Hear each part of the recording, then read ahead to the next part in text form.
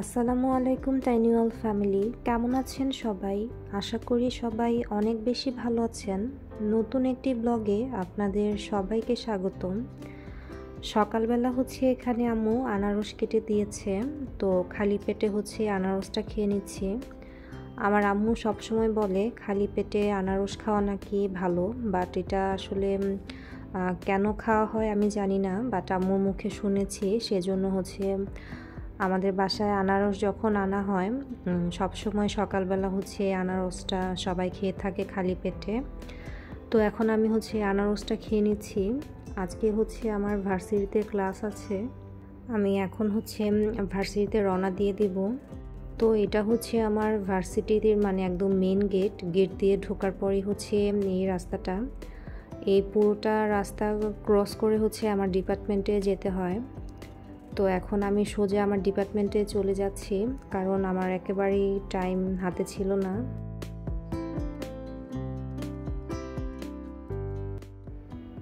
এটা হচ্ছে আমার ডিপার্টমেন্টের নিচে মানে নিচতলাটা, এটা হচ্ছে গ্রাউন্ড ফ্লোর তো দেখতেই পাচ্ছেন, একটা বিড়াল শুয়ে আছে।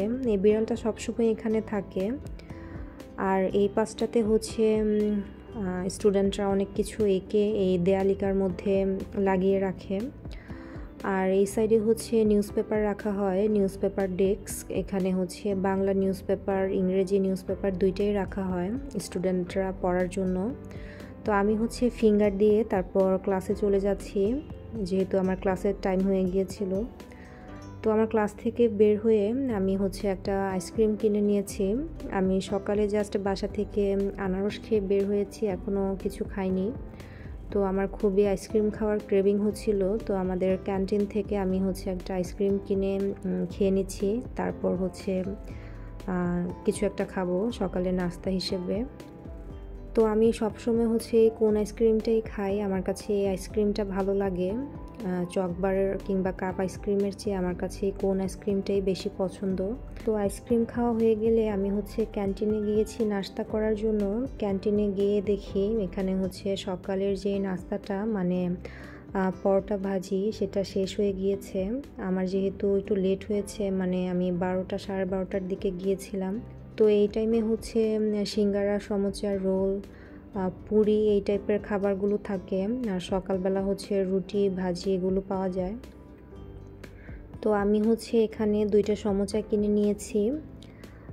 আমাদের ক্যান্টিনের এই সমোচাটা অনেক টেস্টি আর সাথে এখানে যে তেঁতুলের মানে টক পানিটা দেওয়া হয়েছে, এটা আসলে ঠিক চাটনি না, কারণ চাটনিটা একটু গাঢ় হয়।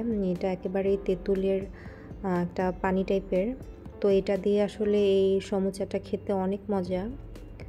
এইটা হচ্ছে আমাদের ক্যান্টিনের যে মামা, উনি নিজের হাতে এই টকটা তৈরি করে। খুবই টেস্টি হয়। তো আমি হচ্ছে এখন এই সমুচাটা খেয়ে নিচ্ছি। আমাদের ক্যান্টিনের সবগুলো আইটেমই আমার ট্রাই করা হয়েছে।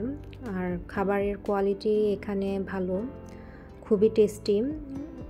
অত বেশি হাইজেনিক না হলেও বাট মোটামুটি হাইজেনিক খাওয়া যায় আর খাবারের মানও ভালো। তো আমি সমোচা খেতে খেতে একটা জুসও নিয়েছিলাম, একটা ম্যাঙ্গো জুস তো এটাই এখন আমি খেয়ে নিচ্ছি। বাসায় এসে দেখি আম্মু হচ্ছে কাচকি মাছ আর আলু দিয়ে চচ্চড়ি করেছে। আমার খুবই পছন্দ এটা। আর হচ্ছে টমেটো দিয়ে ডাল রান্না করেছে। তো এটা দিয়ে হচ্ছে এখন আমি আমার দুপুরের লাঞ্চটা করে নিব। দেখতেই পাচ্ছেন আমি ফার্স্টে হচ্ছে কাচকির চরচড়িটা নিয়েছি। আপনারা যারা আমার ব্লগ দেখছেন, আপনাদের কাছে আমার ছোট্ট একটা রিকোয়েস্ট হচ্ছে, আমার ব্লগটি যদি আপনাদের কাছে ভালো লাগে প্লিজ সবাই আমার চ্যানেলটিতে সাবস্ক্রাইব করবেন।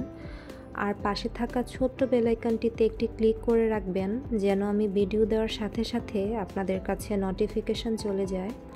আর আপনাদের যদি কোনো গঠনমূলক মতামত থাকে, অবশ্যই সেটা আমাকে কমেন্ট বক্সে জানিয়ে দিবেন। তো আমার ব্লগটি আমি আজকের মতো এখানেই শেষ করছি। আগামী ব্লগ দেখার আমন্ত্রণ জানিয়ে সবাইকে আল্লাহ হাফেজ।